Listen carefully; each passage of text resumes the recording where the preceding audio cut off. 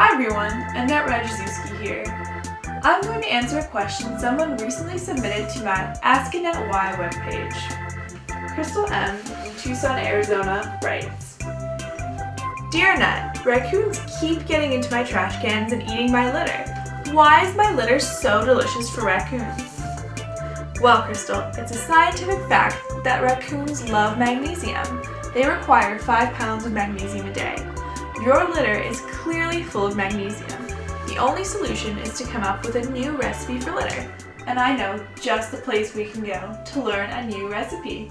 Let's go! We're currently in the litter making laboratory, otherwise known as the kitchen. This is Molly Clifford, accredited litter expert and manufacturer. Molly's going to be showing us a new recipe for litter today. The first phase is supply gathering. You will need five things. A skin fruit, some glass shards, some ionized soup, some powdered steam,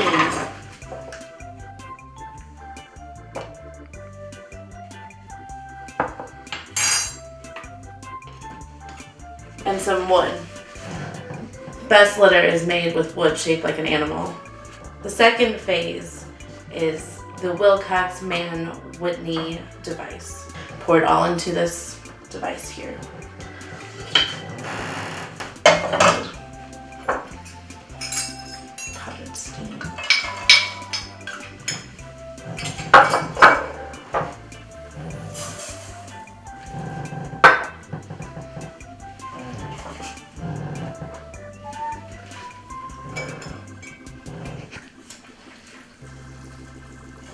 Smells good already.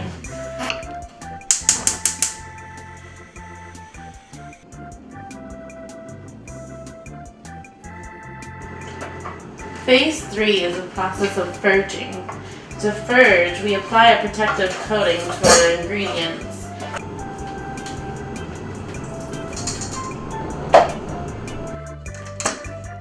You can find this industrial grade litter coating at your local toy stores everywhere.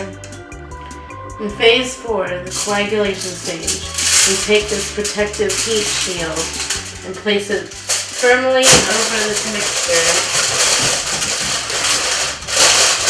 and let it sit for 20 minutes.